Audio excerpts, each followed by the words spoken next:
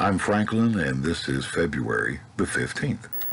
Those born today have a double connection to the spirit world. They have great patience because they have great faith that this is not their only lifetime. Those born February the 15th are given access to the records of their previous lives. The parents of one born on February 15 must help these children overcome the fears that they are given from those previous lives. If they have ever abuse power or use money for the wrong purposes, they will have a fear of money and do their best to avoid it.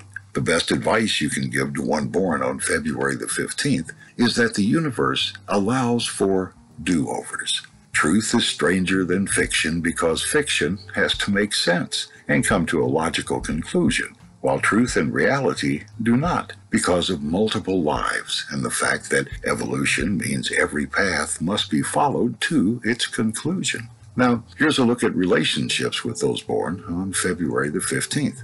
Those born today will always be known by their affinity for the number 8. The number 8, when laid on its side, is the glyph for infinity, or endless possibilities. Those born February 15 have the possibility to go to either extreme. If you want to interest one born on February the 15th, you must be either very good or very bad for them. They attract both kinds because they have a need for both. If you want to be the friend or lover of one born on February the 15th, you'd best be ready for a long journey with highs and lows that can become mountains and valleys. Now, here's a look at careers for those born on February the 15th. Those born on this date will follow the pattern of previous lives and either have a Midas touch that creates money or a fear of money.